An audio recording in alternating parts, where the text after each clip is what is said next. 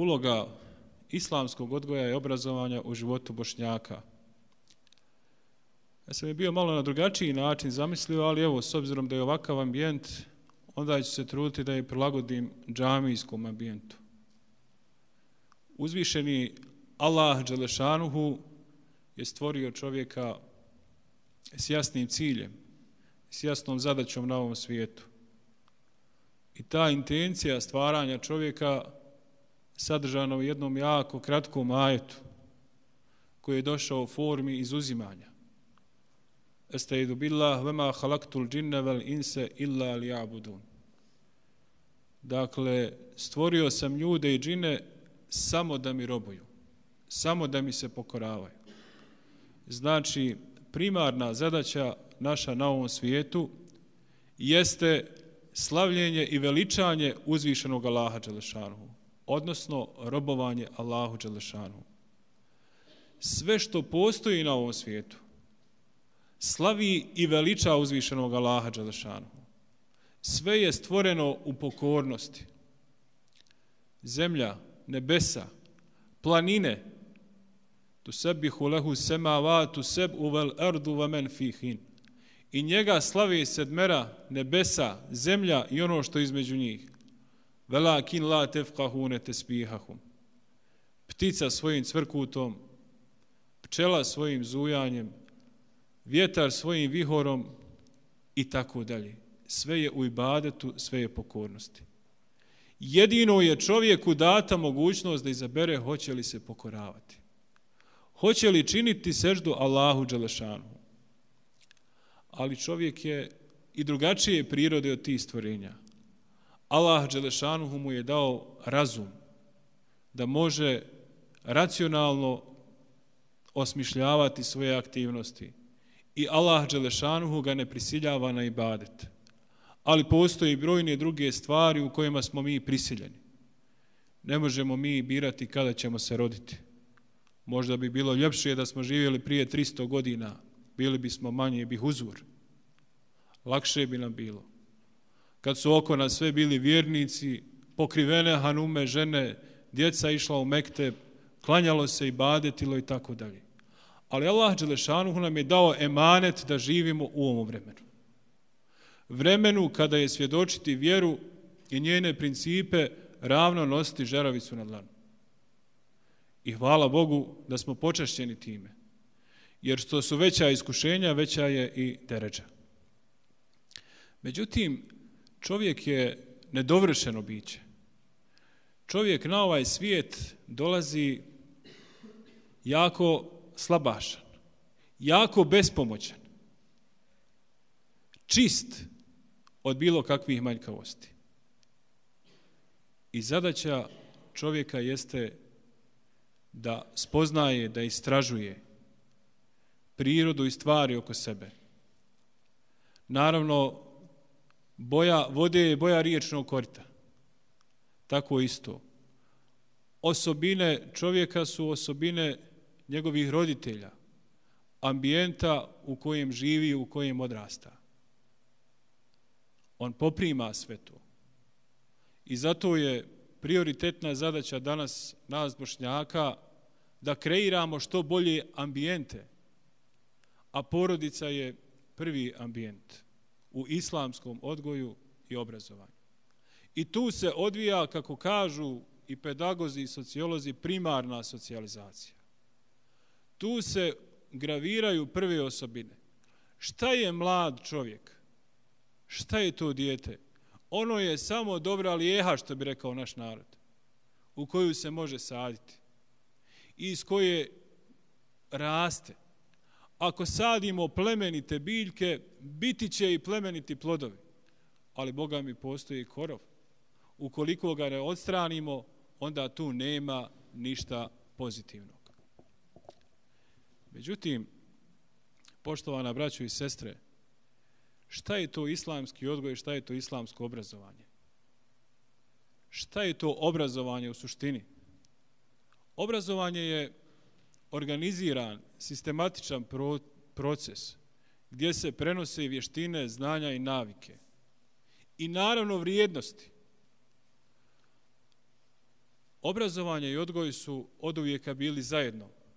Međutim, danas u ovom vremenu u kojem mi živimo, sve je veći broj obrazovanih, a malo je odgojenih. Zašto? Zbog toga što danas obrazovanju nije više cilj vrlina, moral. Danas je obrazovanju cilj kapital. I još prije stotinu godina na zapadu filozofi, društveni pregaoci ukazuju na ovu krizu obrazovnog sistema. Zato je danas moguće vidjeti mlade ljude da znaju mnogo, imaju mnogo fakata, činjenica i tako dalje, ali nemaju duhovnost, nemaju srž i nemaju suštinu. Obrazovanje bez odgoja i bez morala može biti jako opasno. Ali također i moral bez obrazovanja može biti slijep. Vjera bez obrazovanja može biti slijepa. To su dva procesa koja treba da idu jedan za drugim. I na to je ukazao Boži poslanik Mohamed Ali Selam. Na to nam je naš gospodar ukazao. Ikre bismi rabi kelevi halek. Prva objava bila je uči u ime gospodara koji stvara. Ali ako učimo, istražujemo u ime gospodara koji stvara, onda ćemo biti napredni. Bošnjaci su u različitim periodima svoje historije imali i različite stavove prema obrazovanju. Prvenstveno kada je u pitanju dakle, državni i obrazovni sistem. Za vrijeme Osmanske imperije dosezali su vrhunce. Bili su na prestižnim univerzitetima profesori, predavači, kadije, sudije, ne samo u Bosni i Hercegovini, namjesnici, nego širom islamskog svijeta. Govorili su tri strana jezika, pisali su na četiri jezika i tako dalje. Ogromno nasljeđe. Jedan veliki narod kada je u pitanju ono što je ostavio iza sebe. U periodu Austro-Ugarske bošnjaci se nisu dobro snašli. Bili su skeptični prema ovom zapadnoevropskom civilizacijskom krugu. Reakcija je bila povlačenje. Mali broj ljudi se obrazovao u državnim institucijama. Naravno, bošnjaci su nastavili dalje da se obrazuju u svojim e, vjerskim školama i tako dalje, ali nisu imali pristup državnim institucijama. A sama činjenica da nemamo pristup državnim institucijama znači da ne možemo biti faktor koji će odlučivati kako će se usmjeravati društveni procesi. I naravno u to vrijeme djeluje Džemaludin Čaušević, Reis Sulema, koji atakuje na bošnjake, da šalju bošnjakinje u školu, u državne škole. Jer kažu, ako nije roditelj obrazovan, onda je to velika opasnost za djecu. On smatra da bošnjakinje treba da idu u državne škole, da stiču savremena znanja, a ako je njegov stav bio prema bošnjakinama ovakav, kakav je tek onda prema, prema bošnjacima. Međutim, poražavajući su podaci u to vrijeme bili da je 1910. godine u Bosni i Hercegovini samo 10 bošnjaka imalo, imali su završen fakultet. Ovdje ne mislim na ove teološke nauke i tako dalje. Bilo je mnogo ljudi ovaj, koji su imali fakultete u sferi vjere. Ali kada su u pitanju dakle, fakulteti koji su bili u to vrijeme priznati u državi gdje su mogli naravno obnašati određene društvene funkcije. Naravno, postojali su tu šarijatski sudovi, porodično pravo i tako dalje, ali pogledajmo dakle kakva je bila reakcija prema tom obrazovnom sistemu. Ista situacija se nastavlja i za vrijeme Kraljevine Jugoslavije, gdje su prisutne medrese i tako dalje, međutim, još uvijek bošnjaci nemaju povjerenje prema tom režimu. Naravno, postoji tu opravdani razlozi. Za vrijeme socijalističkog perioda također događa se jedna marginalizacija bošnjaka. I hvala Bogu, ovamo 70. i 80. godina otkravili smo. Krenuli smo u svakom pogledu. Kada je u pitanju obrazovanje, kada je u pitanju natalitet, 48. godine nas je bilo 588 hiljada, da bi nas 91. bilo oko 2 miliona. I šta se događa? Događa se da treba taj narod zaustaviti. A kažu da jedan od načina zaustavljanja nataliteta u jednom narodu, evo konkretno, dakle, kakav je bio bošnjački, jeste rat. Ali da rat može to zaustaviti samo do jedne trećine. Međutim, dogodio se rat, živimo u jednom društvu koje je, kako da kažemo, podijeljeno društvo. Možda nekada nismo ni svjesni činjenice i društva u kojem živimo. U Bosni i Hercegovini danas školuju se, hvala Bogu, kadrovi. Bošnjaci su u jako dobrom položaju. 2013. godine u Bosni i Hercegovini je bilo, dakle, postoji ta statistika, ne postoji statistike iz ovih posljednjih godina, nisam našao, možda postoje, ali bilo je otprilike preko 127.000 upisanih studenta. U federaciji je bilo 72.601. Od toga broja 46.000 su bile dakle, studentice, ženska populacija. Ukoliko kompariramo stanje u obrazovanju, kada je u pitanju bošnjačka populacija danas i nekada, kad, prema drugima, onda mi smo u daleko boljoj poziciji. No međutim, braćo i sestre, današnje obrazovanje je dehumanizirano. Da, lišeno je one svoje unutrašnje duhovne komponente. Današnje obrazovanje u Bosni i Hercegovini je podijeljeno. Postoji tri obrazovna sistema.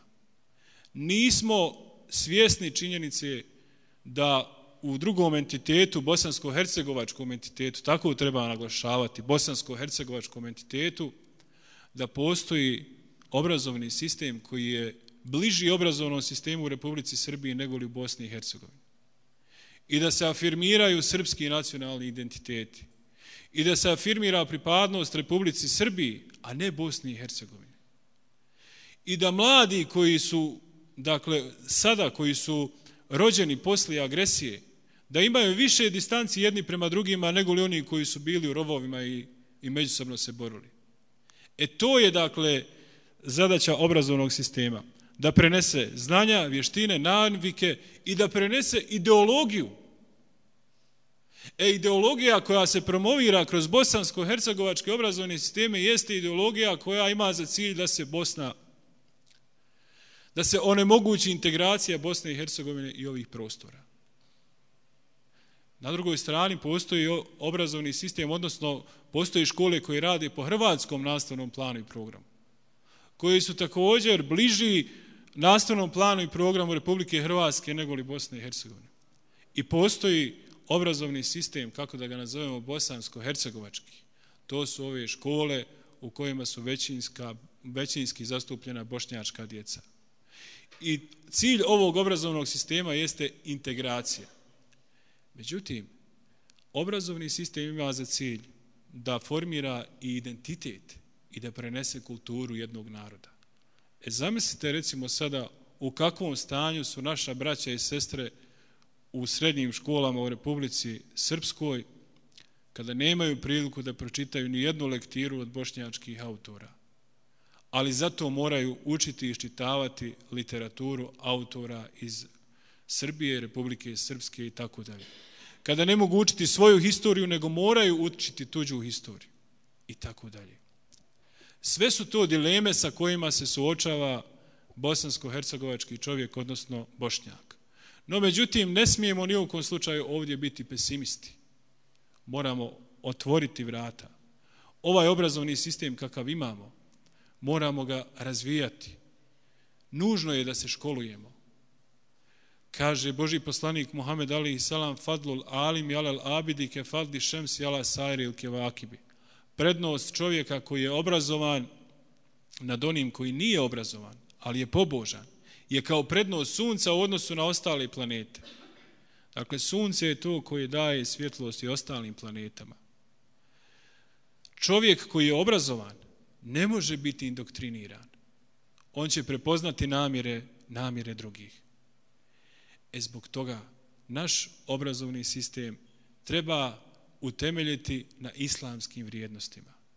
A šta su islamske vrijednosti? Islamske vrijednosti su univerzalne vrijednosti. Ne mislimo da treba promovirati tamo dakle, moramo imati razumijevanje i za druge, ali kada smo u pitanju mi, dakle, nužno je da imamo, dakle, moral. A islamski moral je put našeg spasa. Boži poslanik Muhammed Ali Selam kaže da je poslan samo da utemelji ili da upotpuni plemenite čuti. Pa onda naglašava Boži poslanik Muhammed Ali Selam da nisu isti oni koji znaju i oni koji ne znaju.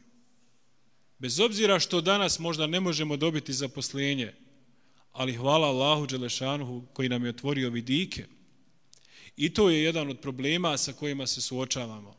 Nemamo jasno razvijenu obrazovnu politiku.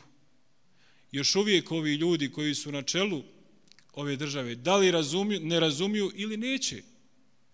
Ali, dakle, naš obrazovni sistem nije usklađen sa potrebama tržišta i sa tržišnim vrijednostima.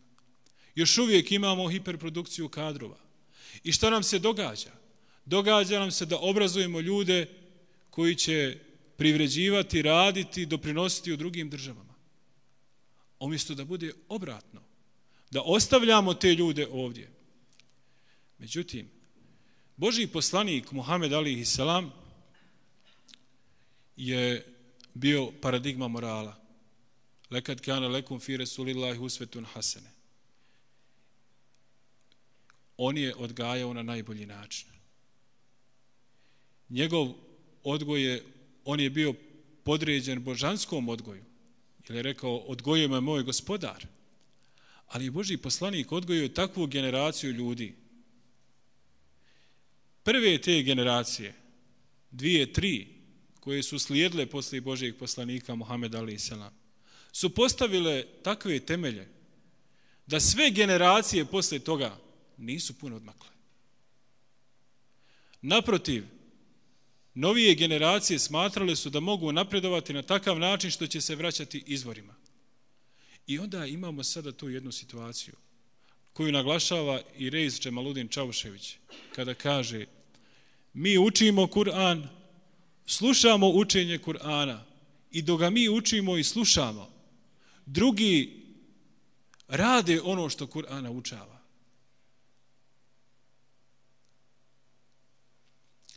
Allah Đelešanuhu je za te generacije rekao kuntum hajre umetin uhriđet li nas. Vi ste najbolja grupacija, najbolji ljudi koji ste se ikada pojavili na zemlji.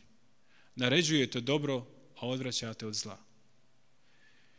Međutim, naš opstanak na ovim područjima, pored obrazovanja, uvjetovan je moralom. Ne možemo se pohvaliti stanje morala u našem društvu.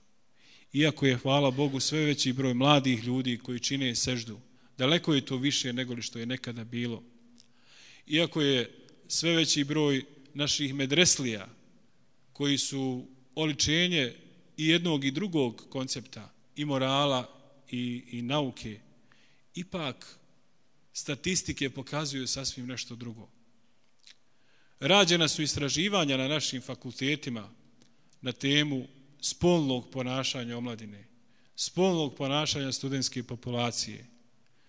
Na uzorku od nekih šest hiljada studenta u našim gradovima, dakle na univerzitetima u Sarajevu, Tuzli, Banjoj Luci, Mostaru, Bihaću i tako dalje. Poražavajući su rezultati. Poražavajući su rezultati kod onih koji su se izjasnili kao pripadnici vjere Islama. Preko 75% njih prešlo je granicu morala. A to je naša avangarda. To su ljudi koji treba da ponesu procese ovog društva. Kojima mi trebamo sutra dati svoje povjerenje. E zbog toga, ni jedan narod u prošlosti nije propao zbog toga što je bio na niskom intelektualnom i kulturnom nivou, na civilizacijskom nivou, ali je propada onoga trenutka kada je doživljavao moralnu dekadencu. I Allah Đelešanu u Kur'anu iz Mošanu kaže koliko smo naroda uništili koji su prema sebi bili nepravedni, a nemoral je najveća nepravda. Zato, zato je, postavimo sebi pitanje, zašto islamski svijet danas prolazi ovo što prolazi? Zašto ove krize? A imamo Kur'an. Imamo Božijeg poslanika Muhammed Ali Isalam kao savršenog uzora. Imamo prve generacije muslimana koji su postigli takve stupnjeve u nauci i obrazovanju, da je današnji stupanj svjetske civilizacije bi bio nemoguć da nije tog, tog razdoblja bilo. U srednjem vijeku Zapad je prolazio kroz mračni period, a muslimani su tada doživljavali svoje zlatno vrijeme. U modernom vremenu Zapad prolazi kroz faze prosperiteta, napretka ekonomskog, naučnog i tako dalje. A muslimani, evo pogledajte, na istoku prolazi kroz jedan mračni period. Postavlja se pitanje šta je uzrok tome? Nije uzrok u islamu, kao religiji, vjeri. Allah je obećao da će uzdići na svim ostalim religijama. Problem je u muslimanima, koji su selektivno pristupili svojoj vjeri koji ne, kaže Ebu Hanife, 40 godina je tamo, kako se navodi u predajama, s jednim abdestom klanjao jaciju i sabah. Namaz. I to je gigant. Imam Šafi, imam Ahmed ibn Hanbel, Ima Malik, Gazali, Buharija, Muslim i brojni drugi autoriteti. Pa kada sagledamo to što su oni ostavili, to što su zavještali generacijama, postavlja se pitanje koliko su života ovi ljudi živjeli. Jedan život su živjeli, ali su ga posvetili dragom Bogu. I znali su da su tu da i badete, da postignu Božije zadovoljstvo. A također imali su poslanika pred sobom i njegov život. Sve su u potpunosti implementirali. Mi danas selektivno pristupamo sunetu. Danas postoje ljudi koji klanjaju i badete i tako dalje, međutim, ne poštuju svoje roditelje, ne brinu o roditeljima. Postoje ljudi kojima je lahko dati novac na Božijem putu, ali mu je teško seždu učiniti. I tako dalje. I tako dalje. Brojni su primjeri. Zato bitna dimenzija čovjeka jeste da je on nedovršen i da nema kraja njegovom napretku na polju vjere i na polju obrazovanja. Mi smo prošli brojne usude na ovom prostoru, ali mi živimo jedno najljepše vrijeme naše povijesti. Kada imamo i svoju državu, i svoju nacionalnost, i svoj jezik, i sve imamo svoje. Hoćemo li to znati očuvati ili ćemo to prokockati, ovisi o nama samima ako budemo afirmirali i svoj vjerski identitet i svoj kulturni i nacionalni identitet paralelno, nećemo to prokockati. Ali ukoliko zapostavimo svoj vjerski identitet, svoj moral, a budemo forsirali samo obrazovanje, nećemo uspjeti. Jer vjera i nauka moraju ići ruku pod ruku. Ako ne idu ruku pod ruku, onda nema potpunih rezultata. Na to su ukazivali i brojni, brojni zapadnjaci. Međutim, braćo i sestre, danas bošnjaci dolaze, prolaze i fazu jednog otuđenja. Absurdno je da muslimani prolaze kroz fazu otuđenja. Allah Đelešanuhu nam je dao mehanizme kako da prevaziđemo otuđenje.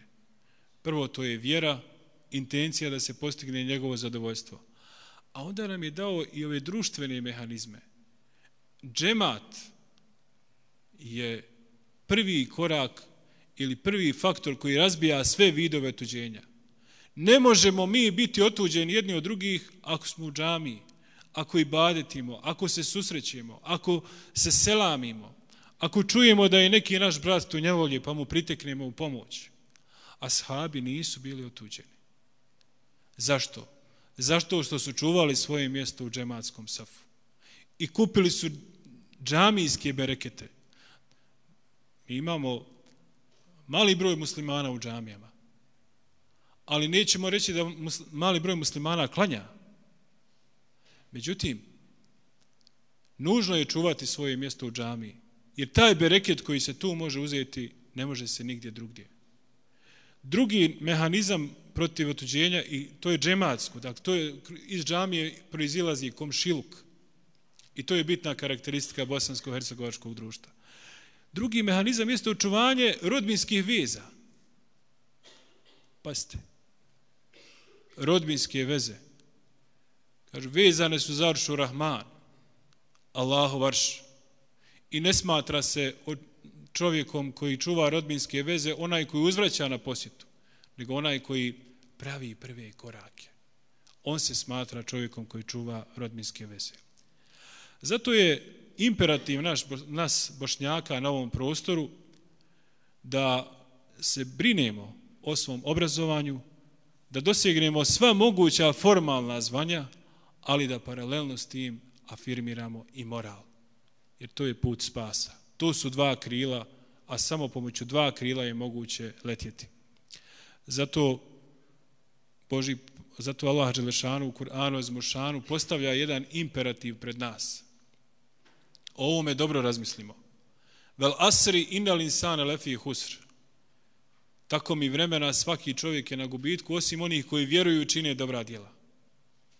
Pa ste Allah se kune vremenom. Elezi halek al meutel je bluve kumeju kumahsenu amela. Koji je život i smrt stvorio da bi vas iskušao ko će bolje postupiti. Zašto smo mi ovdje? Pa dakle, mi smo na ispitu. Pa mi smo iskušenje jedni drugima. I tako dalje. I onda Hasan al-Basri kaže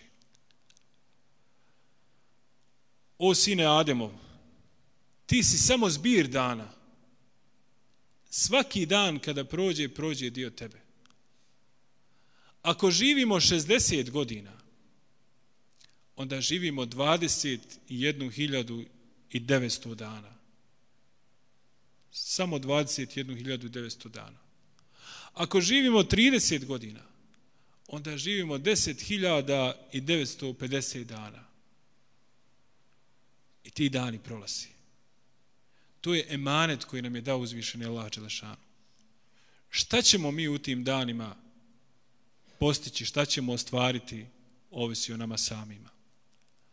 Ali imperativ na ovom području nam je sljedeći.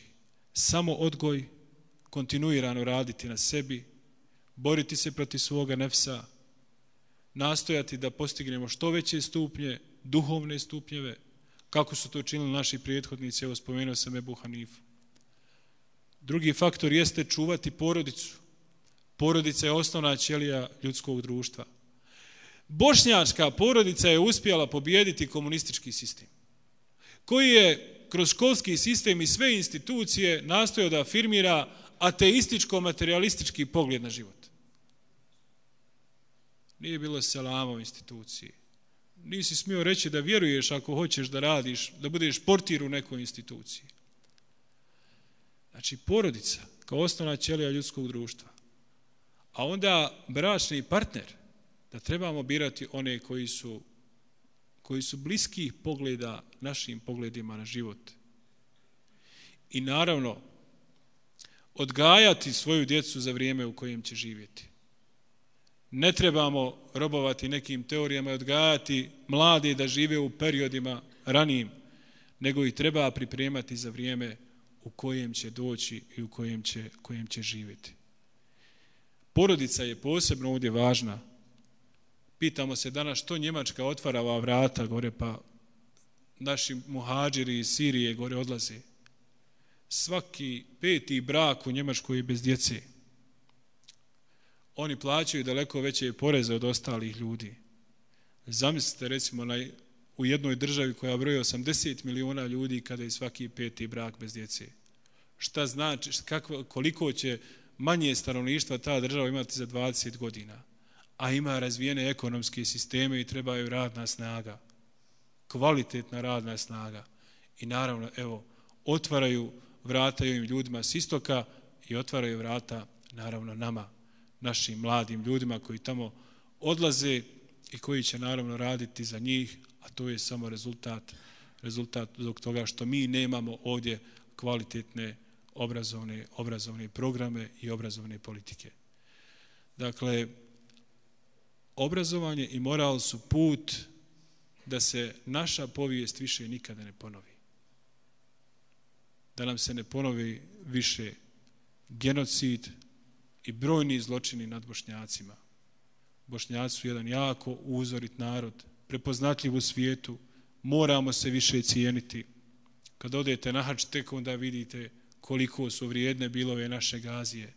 Naši roditelji su ispunili svoje manet u periodu 92. do 95.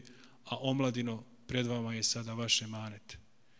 Vi se borite perom, knjigom, učenjem, iščitavanjem i tako dalje. I nauku shvatite kao i badet, jer kaže Boži poslanik, jedan čas istraživanja, razmišljanja, bolji je od hiljadu lekata verbalne molitve. Dakle, verbalne molitve. A šafija, imam šafija, daje prednost učenju nad nafilom namazom. Molim Allaha Đelešanuhu da nas uputi na pravi put, da osvijetli naša srca, da osvijetli naše umove, da da svjetlo ispred nas i iza nas, i iznad nas i ispod nas, i da upotpuni naše, naše svjetlo. Da nam učini istinu istinom, a da nam također ukaže na ono što je dalalet, što je zabluda.